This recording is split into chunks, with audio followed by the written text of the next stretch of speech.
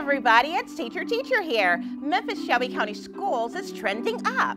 The Student Equity Enrollment and Discipline Department at WKNO would like to spotlight an exceptional school, Grandview Heights Middle School, led by Principal Barber. Principal Barber, your school has done an awesome job in using restorative practices like displaying kindness to one another and showing accountability. Can you tell me what makes your school so grand? It's the tiered support that we receive from the district level all the way to the classroom level.